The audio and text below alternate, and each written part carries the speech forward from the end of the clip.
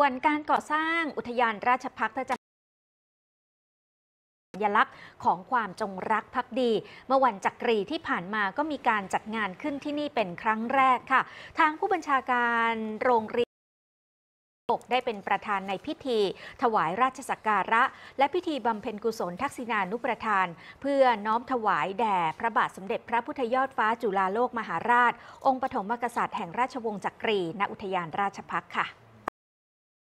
ศักดาวันนโพคาผู้บัญชาการโรงเรียนนายสิบทหารบกได้เป็นประธานในพิธีถวายราชสักการะ ถวายพันพุ่มดอกไม้สด และพิธีบำเพ็ญกุศลทักษิณานุประทาน ถวายแด่พระบาทสมเด็จพระพุทธยอดฟ้าจุฬาโลกมหาราช องค์ปฐมกษัตริย์แห่งราชวงศ์จักรี ณอุทยานราชพักอำเภอหัวหิน จังหวัดประจวบคีรีขันธ์โดยมีข้าราชการ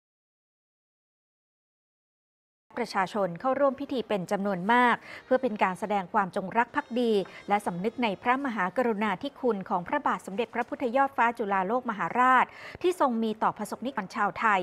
โดยปีนี้เป็นปีแรกที่มีการจัดพิธีดังกล่าวขึ้นที่อุทยานราชพักค่ะ